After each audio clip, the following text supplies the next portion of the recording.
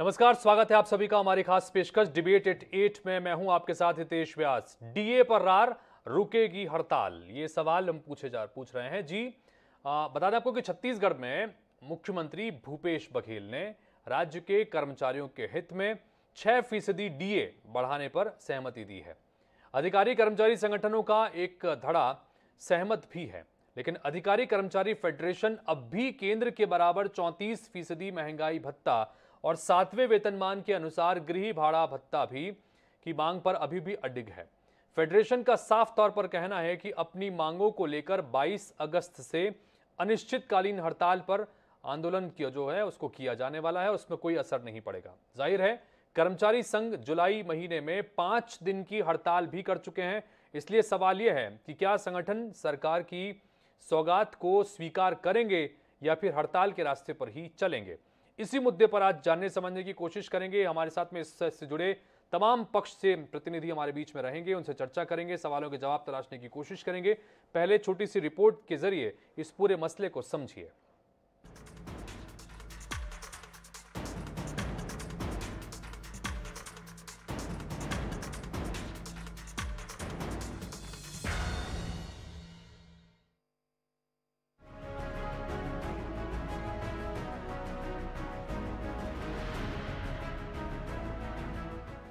पूरे प्रदेश की निगाहें 22 अगस्त से होने वाली कर्मचारियों की अनिश्चितकालीन हड़ताल पर टिकी थी।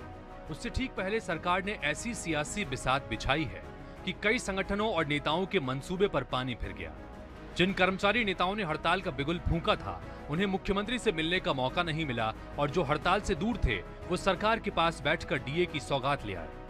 दरअसल सीएम भूपेश से शनिवार को शाम को उनके निवास कार्यालय में छत्तीसगढ़ अधिकारी छत्तीसगढ़ कर्मचारी अधिकारी महासंघ के प्रतिनिधि मंडल ने सौजन्य मुलाकात की और इसी मौके पर मुख्यमंत्री ने 6 प्रतिशत डीए बढ़ाने पर सहमति प्रदान की और एरियर के मसले पर भी मुख्य सचिव से चर्चा करने की बात कही। वहीं सातवें वेतनमान के आधार पर एचआरए बढ़ाने की मांग पर सीएम ने सकारात्मक रूप से विचार का भरोसा दिलाया। साथ ही हड़ताल अवधि को अवकाश में शामिल करने की मांग पर मुख्यमंत्री ने कहा कि 22 अगस्त से प्रस्तावित हड़ताल पर कर्मचारी यदि नहीं चाहते हैं तो इस मांग पर भी विचार होगा। इधर कर्मचारी अधिकारी फेडरेशन ने छह फ़ीसदी डीए की स्वीकृति को नकार दिया है। अलग अलग 90 संघों के समर्थन प्राप्त वाले फेडरेशन ने तय किया है कि अपनी मांगों को लेकर 22 अगस्त से अनिश्चितकालीन हड़ताल पर जाएँगे। देखिए, छत्तीसगढ़ कर्मचारी अधिकारी फेडरेशन दो सूत्री मांग को लेकर अभी आंदोलनरत है। चार चरणों में हमने आंदोलन करने का नोटिस तीस मई को चीफ सेक्रेटरी को दिया था। तीन चरणों में आंदोलन हुआ है। चौथा चरण हमारा 22 अगस्त से अनिश्चितकालीन आंदोलन डिक्लेयर्ड है। हमारे फेडरेशन के साथ 90 संगठन जुड़े हुए हैं और सभी संगठनों ने मिलकर तय किया है कि हम 22 से अनिश्चितकालीन आंदोलन करेंगे। कल हमें मीडिया के माध्यम से ज्ञात हुआ है कि कुछ तथाकथित नेता जो फेडरेशन से जिनका कोई वास्ता नहीं रहा है, जिनको कर्मचारियों के संबंध में कभी उन्होंने कोई बड़ा आंदोलन कभी नहीं किया है, ऐसे लोग कल सीएम के यहाँ गए और कुछ बात किए, उससे हम लोग सहमत नहीं हैं। हमने आज यहाँ पर पूरा बैठक रखे हैं पूरे प्रदेश भर के 90 संगठन के प्रांत अध्यक्ष यहाँ बैठे हुए हैं और सब लोग यहाँ तय कर रहे हैं कि आगामी 22 अगस्त का जो आंदोलन है उसको किस तरह जो है सफल हमको बनाना है। इधर कांग्रेस ने सीएम द्वारा छह फ़ीसदी डीए की स्वीकृति का स्वागत किया है। कांग्रेस संचार प्रमुख सुशील आनंद शुक्ल ने कहा कि राज्य सरकार कर्मचारियों की मांगों को पूरा करने के लिए सदैव तत्पर है। सरकार की मंशा स्पष्ट है सरकार गतिरोध नहीं चाहती है कर्मचारियों का भला चाहती है। और सरकार और कर्मचारी संगठन के कुछ प्रतिनिधियों को ज़्यादा छः फ़ीसदी में सहमति मिली है। तो बाकी लोगों को भी इससे, इस फैसले में अपनी सहमति देनी चाहिए और राज्य के विकास में अपना योगदान देना चाहिए। देखिए छत्तीसगढ़ की कांग्रेस की सरकार, मुख्यमंत्री भूपेश बघेल कर्मचारियों के हितैषी मुख्यमंत्री हैं। उनके निर्णयों से अनेकों बात स्पष्ट हुआ है। ओल्ड पेंशन स्कीम, आज देश में राजस्थान के बाद कहीं चालू हुई है तो भूपेश बघेल जी ने चालू किया है। तो कर्मचारी भाइयों को जो लोग इससे असहमत हैं, उनको सोचना चाहिए कि एक ऐसा मुख्यमंत्री जो उनके हितों का हमेशा ख्याल रखता है।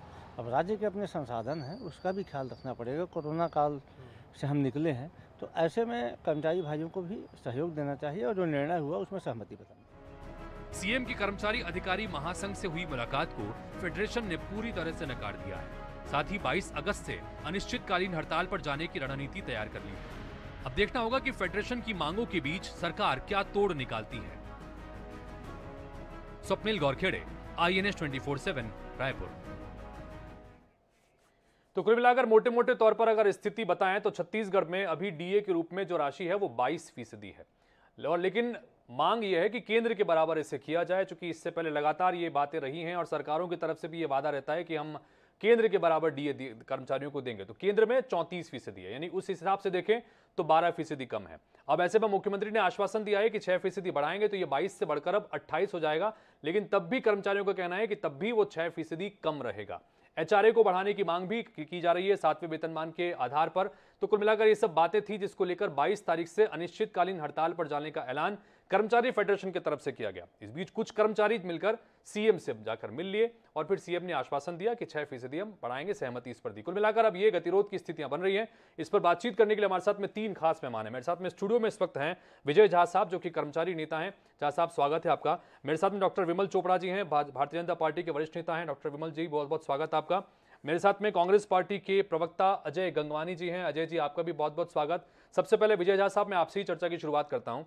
क्या वजह है? अब चूँकि मुख्यमंत्री ने तो आश्वासन भी दिया है कि छह फ़ीसदी हम बढ़ाएँगे और फेडरेशन से जुड़े लोगों का कहना है कि जो लोग मुख्यमंत्री से मिलने के लिए गए थे वो तो हमारे फेडरेशन से जुड़े हुए नहीं है। अब ऐसे में इसे किस तरह से लिया जाए? देखिए मुख्यमंत्री जी से जो मिलने गए थे हम्म। ये कभी जीवन में हड़ताल नहीं करते। हमारे फेडरेशन से टूट करके अलग रहने वाले लोग हैं। और ये छत्तीसगढ़ का दुर्भाग्य है कि जो गणेश और दुर्गा का चंदा नहीं देता ना वही हिसाब माँगता है मुख्यमंत्री के पास इनको जो मिलाने के लिए ले गए, ये अधिकारी हमारे साथ छल किए हमारे फेडरेशन की दो बार सचिव स्तर पर चर्चा मंत्रालय में हो चुकी है तो उसके बाद मुख्यमंत्री से हमको मिलाने के लिए ले जाना चाहिए ना हड़ताल हम कर रहे हैं, चर्चा उनसे हो रही है और बड़े मज़े केदार मुख्यमंत्री जी के ट्विटर में अधिकृत रूप से ये मैसेज आया है कि केवल ये लोग मुख्यमंत्री को पुरानी पेंशन योजना लागू करने के लिए धन्यवाद बधाई देने गए थे। बाहर निकल करके कुछ भी बोल दें बात अलग है। कुल मिलाकर के छह प्रतिशत महँगाई भत्ता छत्तीसगढ़ का कर्मचारी बिल्कुल बर्दाश्त नहीं करेगा, उसका दो कारण है। पहले ही हमारा पाँच प्रतिशत में अट्ठाईस महीने का एरियस खा गए और यही आईएएस अधिकारी जो सरकार को बदनाम कर रहे हैं। अपने लिए एक जुलाई इक्कीस से बाकायदा अट्ठाईस से बढ़ा के इकतीस परसेंट तीन प्रतिशत बढ़ाए नगद लिए और दे तिथि से लिए। फिर कर्मचारियों के लिए भेदभाव की नीति क्यों है? और कर्मचारियों के साथ जो साजिश के तहत छल किया जा रहा है, फेडरेशन को तोड़ने की कोशिश किया जा रहा है, ऐसे अधिकारियों को मुख्यमंत्री जी को चिन्हित करना बहुत ज़रूरी है।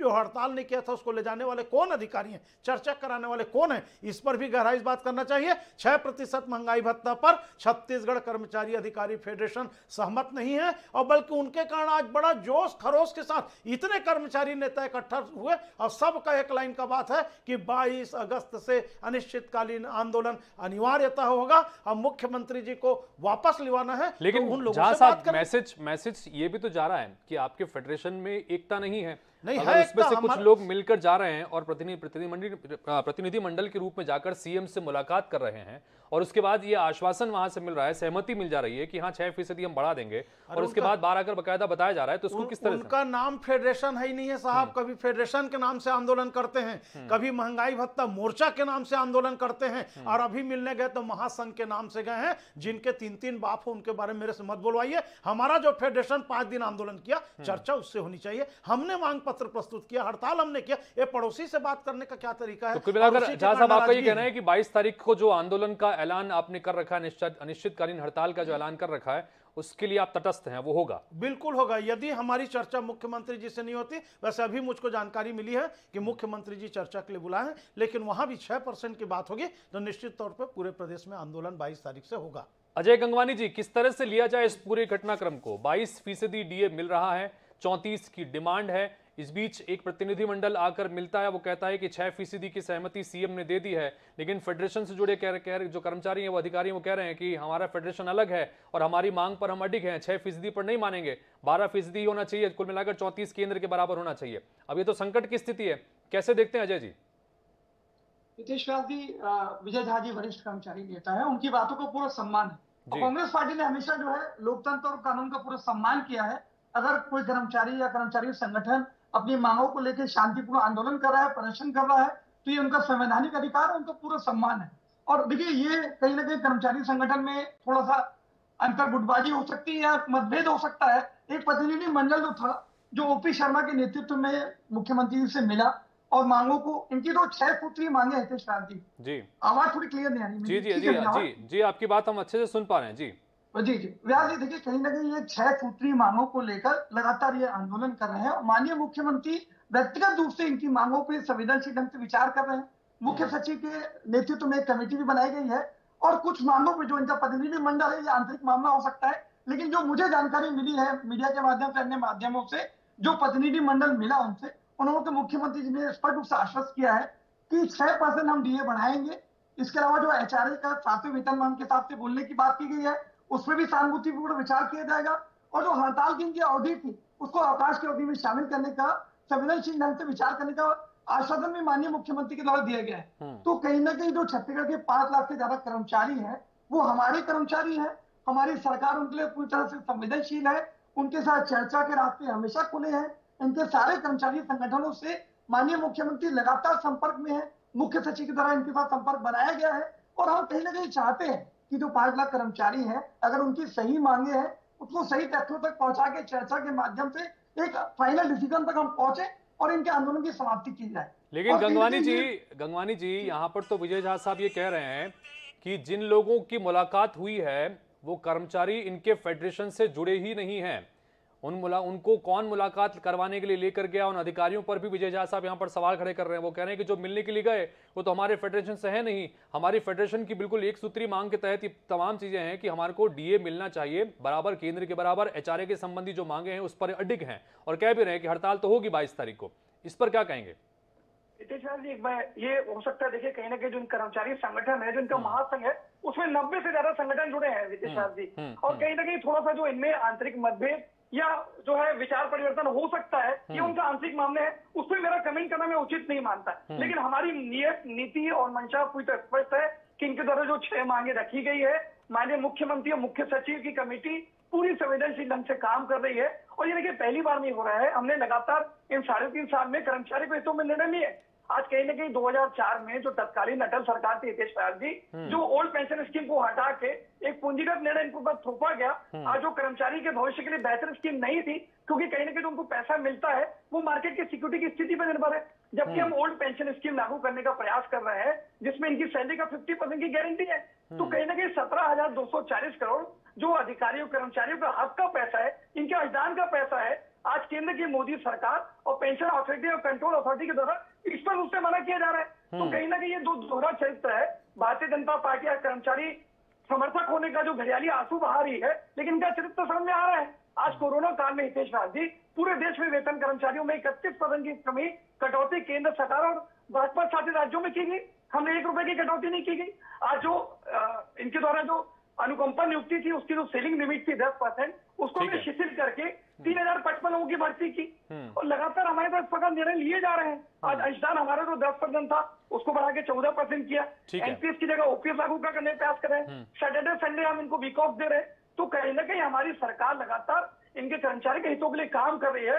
और आज भी आपके लोकप्रिय चैनल पर स्पष्ट कर दूँ कर्मचारी हमारे कर्मचारी हैं। कुल मिला के पाँच लाख कर्मचारियों का हित हमारी पहली प्राथमिकता है। ठीक है तो कुल मिलाकर यहाँ पर कांग्रेस पार्टी के हमारे प्रवक्ता साथी हैं वो ये कह रहे हैं कि नियत नीति और मंशा पूरी तरह से साफ़ है सरकार की। कर्मचारियों के साथ खड़े हुए हैं। कर्मचारियों के हित में इससे पहले भी कई फैसले लिए गए लिहाजा यहाँ पर भी बातचीत होगी। लेकिन कर्मचारी फेडरेशन साफ़ तौर पर कह रहा है कि हमारी जो मांगे हैं उस पर विचार नहीं किया गया। तो 22 तारीख को अनिश्चितकालीन हड़ताल तय है। डॉक्टर विमल चोपड़ा साहब किस तरह से ले रहे हैं? क्योंकि पंद्रह साल सत्ता में आप भी रहे। और ये समस्याएँ आपके सामने भी ये सवाल आपके सामने भी लगातार उठता रहा। अब एक बार फिर से इसी तरह की स्थिति यहाँ पर है। इस पर क्या कहेंगे सर आप? देखिए साहब ये ढोल की पोल वाली सरकार है। हम्म, ये सरकार कह आती कि छत्तीसगढ़ की आर्थिक स्थिति बहुत अच्छी है। हमारा जो है खजाना भरा हुआ है। कर्जे में चल रहे हैं और कर्मचारियों को देने के लिए पैसा नहीं है और चिल्ला चिल्ला के कहते हैं कि हमारी आर्थिक स्थिति छत्तीसगढ़ की आर्थिक स्थिति देश में सारे राज्यों से सबसे अच्छी है। तो क्या हो गया भैया? कर्मचारियों को पैसा देने में आपके पास कहाँ से आप जो हैं, वो अपने आप के खजाने के ताले को चाबी लेकर के भाग गए हैं और कुल मिला के जो गंगवानी जी कह रहे हैं कि कर्मचारी नेता मिलने आए, मुख्यमंत्री जी से नहीं ये फूट डालो और राज करो की नीति है अंग्रेज़ों की कि कुछ कर्मचारियों को खुद बुलाया गया मुख्यमंत्री के द्वारा। आइए बात कीजिए और उनको बुला करके स्वागत करके छह परसेंट जो है आता हूँ, आता हूँ। गंगवानी जी, आपके पास आता हूँ। आता हूँ गंगवानी जी आपके पास आता हूँ। एक बार उनको सुन लें आपके पास आता हूँ। जो है अभी चार हज़ार करोड़ रुपया केंद्र सरकार ने दिया। अभी मैं बोल रहा हूँ गंगवानी जी कहेंगे हमारा केंद्र के पास रुका है। सारे राज्यों का रुका है लेकिन केंद्र की गारंटी से उससे ज़्यादा कर्जा ये ले चुके हैं। और इनको यदि ये पैसा केंद्र सरकार देगी तो इनके हाथ में नहीं जाएगा। वो बैंक में जाएगा कर्जा चुकाने में। ये ठन ठन गोपाल है। पूरी भ्रष्टाचार की सरकार है। रेत का पैसा खजाने में नहीं जा रहा है। कांग्रेसी नेताओं की जेब में जा रहा है। शराब का पैसा कांग्रेसी नेताओं की जेब में जा रहा है। कोयले का पैसा जो है, टैक्स के रूप में वो जाना चाहिए। वो कांग्रेसी नेताओं की जेब में जा रहा है। सरकारी ज़मीन जो है, वो माफिया के रूप में कांग्रेस के लोग कब्जा कर रहे हैं। खजाने में पैसा आएगा कहाँ साहब? इनके हाथ पाँव फूले हुए हैं। इनके पास कुछ है नहीं। ये सिर्फ़ बोल रहे हैं कि हम कर्मचारी हित की बात करते हैं। अरे तो आप कर्मचारी हित की बात करते हो तो आपको पहले से ये कर लेना था कि आज जो है आप बोल रहे कमेटी गठित की गई। शराबबंदी पे आपने कमेटी गठित की है। साढ़े तीन साल में आपने कोई एक फैसला लिया ये कमेटी गठित करके ठीक है गंगवानी जी क्या कहेंगे? बहुत गंभीर आरोप यहाँ पर डॉक्टर विमल चोपड़ा लगा रहे हैं। वो साफ़ तौर पर कह रहे हैं कि सरकार की माली स्थिति ठीक नहीं है। लिहाजा इस तरह से कर्मचारियों के साथ में फूट डालने की कोशिश की गई। गंभीर आरोप को लगा रहे हैं। गंगवानी जी क्या कहेंगे इस पर? व्यास जी यही भारतीय जनता पार्टी का चरित्र और राजनीतिक पाखंड है। ये कर्मचारी समर्थक होकर घड़ियाली आँसू बहाने का जो प्रयास कर रहे हैं, वो घोर आपत्तिजनक है। ये जो कर्मचारी संगठन का आंतरिक मतभेद हो सकता है, उसका आरोप सरकार पर लगाना पूरी तरह गलत है। और देखिए, सबसे बड़ी बात यह है कि आज ये बड़ी बड़ी बातें कर रहे हैं। आज हम ओल्ड पेंशन स्कीम लागू करने का प्रयास करते हैं। नौ नौ सांसद है, केंद्रीय मंत्री है। कर्मचारी को हक का सत्रह हज़ार दो सौ चालीस करोड़ पैसा और हमारा योगदान ये देने का कोई प्रयास इनके द्वारा किया जा रहा है क्या? इस बात को स्पष्ट करना चाहिए इनको चैनल पे। ये दोहरे चरित्र में दिखाए। कानून और मैं में इस बात शांत हो जाइए जो बात जी कानून शांत हो होगा, जाइए गंगवानी जी। और और बात सुनिए कानून की बात नहीं है। आप एक बात समझ लीजिए कर्मचारियों को हक का जो पैसा जाने है उनके मेहनत का पैसा आप है आप पैसा का बात क्यों इनकार कर रहे हैं? यही दो क्यों है? चोपड़ा जी आपका। रही है पैसा। चलिए चलिए। विमल चोपड़ा जी, आपके पास आता हूँ। एक एक एक एक करके बात करते हैं। इससे समझ में नहीं आएगा कि कौन क्या कहना चाह रहा है। एक एक करके बात करते हैं। जी। जी गंगवानी जी अपनी बात कंप्लीट कीजिएगा हाँ। ये व्यास जी यही इनका दोहरा चरित्र है। केंद्र की मोदी सरकार हमारा पचपन हज़ार करोड़ रुपए रोक के रखती है। आज जीएसटी क्षतिपूर्ति हम उसके बढ़ाने के लिए बात करते हैं पाँच साल के लिए। छत्तीसगढ़ उत्पादक राज्य है पाँच हज़ार करोड़ रुपए का नुकसान हर वर्ष होगा। ये केंद्र के जीएसटी का सेस देने के लिए तैयार है। उस देश की अवधि को पाँच साल बढ़ा लेते हैं लेकिन हमारे हक का जीएसटी क्षतिपूर्ति का पैसा देने से इनकार करते हैं यही भारतीय जनता पार्टी का दोहरा चरित्र है। हमारे हक का पचपन हज़ार करोड़ रुपए दे दीजिए हमको। हम सारी योजनाएँ कर्मचारी के मांगों पर पूरी तरह से कार्य करेंगे। तो कहीं ना कहीं ये दोहरा चरित्र है।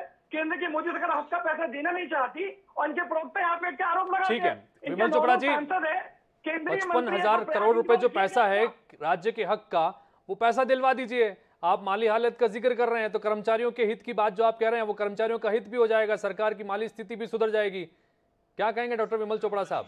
विधानसभा में जो मुख्यमंत्री ने वक्तव्य दिया है वो तीस हज़ार करोड़ कहते हैं। इनको पच्चीस हज़ार करोड़ तो कुछ दिखता ही नहीं जैसे पच्चीस रुपए है। इनको हिसाब पहले मुख्यमंत्री जी से पूछना चाहिए कि कितना रुपए केंद्र का बचा है। चार हज़ार करोड़ रुपए जो है केंद्र ने अभी परसों दिया है इनको। और मैं बता दू जितना ये बोल रहे हैं ना पच्चीस हज़ार करोड़ उससे ज़्यादा केंद्र की गारंटी से कर्जा ले चुके हैं। इसलिए प्रधानमंत्री आवास के लिए 700 करोड़ रुपए का जो कर्जा इनको लेना चाहिए वह आरबीआई देने से मना कर रहा है ठीक है। आप ऐसे ही कर्जे में लदे हुए हो आपको कौन चलिए आरोप आरोप प्रत्यारोप के बीच में हमारे साथ में विजय झा साहब भी हैं। विजय झा साहब कर्मचारियों के हित के संदर्भ में आप लगातार बातें कर रहे हैं। डीए एचआरए इन संबंधी आपकी कुछ महत्वपूर्ण मांगे हैं। इससे पहले भी हड़ता, हड़ताल की गई थी, पाँच दिवसीय हड़ताल थी पच्चीस से लेकर उनतीस जुलाई के बीच, और उस अवधि की सैलरी काटने को लेकर भी बातचीत हुई थी, और इसको लेकर भी अभी बातचीत का दौर लगातार जारी है। अब ये कह रहे हैं कि 22 तारीख से अनिश्चित हड़ताल पर जाएँगे। सरकार की तरफ़ से प्रवक्ता हमारे बीच में वो कह रहे हैं कि हमने कर्मचारियों के हित में बहुत फैसले लिए, हमने दो दिन छुट्टी का प्रावधान भी किया, हमने पुरानी पेंशन को भी लागू किया, तमाम जो इससे पहले मांगे थी उन सबको भी किया।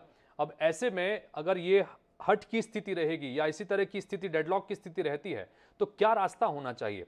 इस पर क्या कहेंगे सर? देखिए प्रत्येक कर्मचारी का छोटे कर्मचारी का प्रति माह डेढ़ हज़ार रुपए और जैसे जैसे ऊपर बढ़ेंगे ढाई हज़ार तीन हज़ार रुपया आर्थिक क्षति एच और गृह भाड़ा इसके महँगाई भत्ता के कारण हो रहा है। जब प्रदेश में सातवां वेतनमान लागू है तो सातवां वेतनमान के अनुरूप जो जो सुविधाएँ हैं उसको कर्मचारियों को देना चाहिए। आर्थिक मुद्दे की बात कर रहे हैं अभी मैं आ रहा हूँ मुख्यमंत्री जी के कार्यक्रम से एक करोड़ रुपए का विकास का अभी बूढ़ा तालाब सप्रे स्कूल में उद्घाटन करके आए पैसा है, तब तो कर। रहे हैं गंगवानी जी, एक चीज़ मैं आपको निवेदन करना चाहूँगा कि ये जिन लोगों को आप लोगों ने बुलाया, चर्चा करवाया, जिसने भी करवाया, वो लोग माननीय मुख्यमंत्री जी के खिलाफ दिल्ली राहुल गांधी जी के पास धरना देने के लिए जंतर मंतर में सत्रह जुलाई को जाने वाले थे।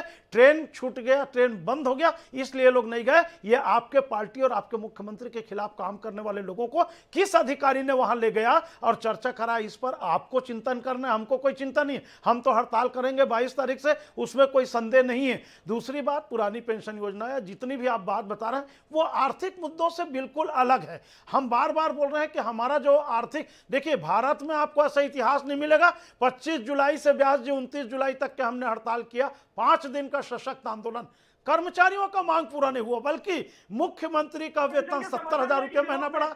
मंत्रियों का वेतन साठ हज़ार रुपये महीना बढ़ा और विधायकों का वेतन पचास हज़ार रुपये महीना बढ़ा। एक एक करके बात करते हैं। क्या आवाज़ आप सुन तो लीजिए मेरी बात को मैं गलत बोल रहा हूँ तो आप बोलना। हड़ताल हमारी हुई और सदन में किसका बढ़ा? तो मुख्यमंत्री जी का सत्तर हज़ार रुपये महीना वेतन बढ़ा मंत्रियों का साठ हज़ार बढ़ा और विधायकों का पचास हज़ार बढ़ा। मैं गलत बोल रहा हूँ तो आप इसको प्रमाणित कर दीजिए। हमारा कहना है कि सरकार और सरकार में बैठे जो सदन के लोग हैं पहले हड़ताली कर्मचारियों से बात और चर्चा तो करो। ऐसी कौन सी परिस्थिति ठीक है गंगवानी जी यहाँ पर सीधे सीधे यहाँ पर झा साहब का ये कहना है कि जिनसे मुलाकात हुई जिस प्रतिनिधिमंडल से मुलाकात करवाई गई वो फेडरेशन से जुड़े हुए नहीं थे। फेडरेशन से जुड़े हुए ज़्यादातर कर्मचारियों और जो जो अधिकारी हैं उनका साफ़ तौर पर यह मानना है कि जो मांगे इनकी तरफ़ से रखी जा रही हैं उन मांगों पर विचार होना चाहिए उस पर कुछ फैसला होना चाहिए। क्या सरकार की तरफ़ से रास्ते खुले हुए हैं द्वार खुले हुए हैं? कि इनके जो प्रतिनिधिमंडल हैं उनसे जाएँ उनसे बातचीत करें जैसा कि आपने अभी कहा भी। क्या उम्मीद इस बारे में करें? क्योंकि 22 तारीख से अनिश्चितकालीन हड़ताल पर जाने का अगर ये ऐलान कर रहे हैं तो ज़ाहिर तौर पर जनता भी इससे प्रभावित होगी। सरकार के कामकाज भी इससे प्रभावित होंगे। क्या कहेंगे सर? व्यास जी मैंने सबसे वक्तव्य की शुरुआत में कहा था रास्ते हमेशा खुले हैं। चर्चा के लिए इनकी मांगों पे सहानुभूतिपूर्व विचार किया जा रहा है। छह मांगे रखी गई है। पूरी उनपे बात पे हमारे सहमत है मुख्यमंत्री जी। हमेशा जो रास्ते हैं वो चर्चा से खुलते हैं। कहीं ना कहीं केंद्र की मोदी सरकार और हमारे भूपेश सरकार में यही मूलभूत अंतर है। हम लोकतंत्र का पूरा सम्मान करते हैं। आज इनका स्वागत है। क्या विजय झा जी वरिष्ठ नेता है कर्मचारी का। उनको भी पद उससे मेरा वो है। निर्देश है कि अगर वो मोस्ट वेलकम है आके चर्चा करें उनकी मांगों पर स्वागत है इनका मोस्ट वेलकम है। आए चर्चा करें जी चोपड़ा साहब फाइनल कमेंट के रूप में अपनी बात रखिएगा जी। आईएएस अधिकारी जो है उनकी तनख्वाह उनका डीए तो इन्होंने बढ़ा दिया। बाकी क्यों बाकी कर्मचारी क्या राज्य के हित में काम नहीं करते हैं क्या? और दूसरा, आप ब्लैकमेल करते हैं कि आप यदि हड़ताल नहीं करेंगे तो पाँच दिन की तनख्वाह आपको दी जाएगी। हड़ताल करेंगे तो नहीं देंगे। यानी जो हड़ताल जो लोग नहीं जाएँगे, उनको आप अलग से कानून बना के पाँच दिन की तनख्वाह देंगे। और जो लोग हड़ताल करेंगे, उनके लिए अलग कानून चलेगा आपका। ये इस प्रकार का दोहरा मापदंड और सिर्फ़ जवान से बोलना कि कर्मचारी हित में काम करेंगे, संवेदनशील है। मुख्यमंत्री जी ने बात क्यों नहीं की? जी विजय झा बैठे इनके संगठन को क्यों नहीं बुलाया गया? इनसे चर्चा क्यों नहीं की गई? आप जो है कुछ लोगों को बुला करके षडयंत्र करके चलिए लेकिन चोपड़ा साहब अब तो अब तो अब तो चैनल पर नेशनल चैनल पर जो है कांग्रेस पार्टी के जिम्मेदार प्रवक्ता स्वयं ही कह रहे हैं कि आइए रास्ते खुले हुए हैं बातचीत करिए जा साहब रास्ते खुले हैं। बात करने को तैयार हैं? अभी भी बात तो बिल्कुल करेंगे किससे करेंगे? हम मुख्यमंत्री जी से तो करेंगे प्रधानमंत्री से बात नहीं होती हमारी मांगों की। अभी भी गंगानी जी इस बात में बड़ा भ्रम। हमारा केवल तीन ठो मांग है महँगाई भत्ता गृह भाड़ा भत्ता और अनियमित कर्मचारियों के नियमितीकरण। वो बार बार बोल रहे हैं छह सूत्री मांग। फिर मुझको लग रहा है कि ये जो लोग गए थे जो हड़ताल नहीं करते वो शायद छह सूत्री मांग देकर तीन सूत्री मांगे हैं। हमारी केवल तीन है बार बार महँगाई भत्ता एच और अनियमित कर्मचारियों का नियमितीकरण। बाकी तो हमारी चौदह सूत्री मांग के लिए पिंगुआ कमेटी गठित है वो लंबे प्रक्रिया में है वो जब होगा तब होगा तो कुल मिला करके कहीं ना कहीं भ्रम पैदा करके वास्तविक हड़ताल करने वाले कर्मचारियों की उपेक्षा कुल मिलाकर मेरे पास समय की कमी है चर्चा ऐसी है कि हम बहुत लंबी कर सकते थे लेकिन फ़िलहाल आप तीनों का बहुत बहुत शुक्रिया लेकिन सिर्फ़ उम्मीद ये कर सकते हैं जिस तरह से गंगवानी जी ने भी कहा कि आइए रास्ते खुले हुए हैं चर्चा के। तो दूसरी तरफ़ झा साहब भी कह रहे हैं कि अगर रास्ते हमें चर्चा के लिए बुलाया जाता है तो हम चर्चा के लिए ज़रूर जाएँगे। तीन सूत्री मांगे फेडरेशन की हैं। फेडरेशन के लोगों का कहना है कि जिन प्रतिनिधि मंडल ने जाकर सीएम से मुलाकात की, वो इस फेडरेशन से जुड़े हुए नहीं है। लिहाजा उनकी मांगों को नहीं मानेंगे और कुल मिलाकर ये कहा है कि जो उनकी तीन सूत्री मांगे हैं, उस पर ये बने हुए हैं। और अगर वो मांगे पूरी नहीं होती है तो बाईस तारीख से अनिश्चितकालीन हड़ताल पर ये जाएँगे। अब देखना होगा कि क्या इससे पहले कोई रास्ता इस मामले पर निकलता है। फ़िलहाल इस बुलेटिन में इतना ही। आगे भी खबरें और अपडेट्स का सिलसिला लगातार जारी रहेगा। नमस्कार।